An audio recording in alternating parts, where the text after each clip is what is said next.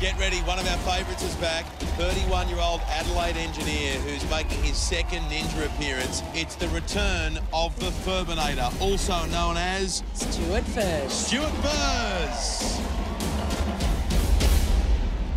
Last year was very nerve-wracking, especially the first time stepping onto the podium. Here he is, our lightest male ninja, 58 kilos. I was a bit of an underdog. No one really took me seriously until ended up in the grand final. I'm not going to lie, you have been my hero of the competition. And even probably surprised myself a fair bit. The legend that is the Furbinator! Anything can happen when you hit the course. You know, there's a small amount of luck that's involved. Uh, you definitely have to have made sure that you've trained your balance, your agility, your grip, and all of that has to be on point. If you don't have all of that on point, you're coming off. I'm looking to go another step further this year and take home that title of Australia's first Ninja Warrior.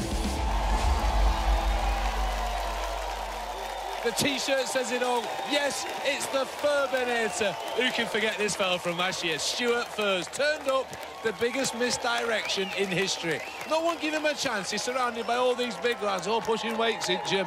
This little fella turns up, grand final. This year, he's going further. You've heard it first. The Furbinator is winning this competition. Oh, I like your confidence, Freddie Flintoff.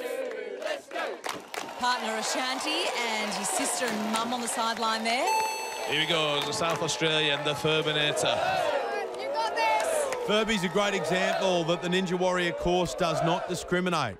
Heavy or light, male or female. If you're good enough, you'll do well here.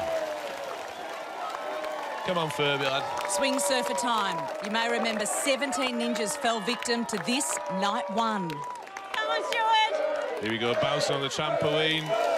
Yes, he's got the distance. What a smooth landing. He's got to get off quick before it stops swinging. And he's done it. He was a real surprise packet in season two, came 15th overall. So you are looking at one of our very best. Come on, Stewart. On the tuning forks. You'd imagine his weight will play well on this one. And he nails one. No, he doesn't.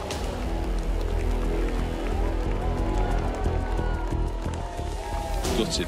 Gutted. Ah, oh, cool little fella. It may not be obvious at home, but the tuning forks aren't in a straight line. What that means is that Furby had to cross over himself on the middle fork, but you can see he misses his step with his left foot. From there, he wasn't able to recover his balance.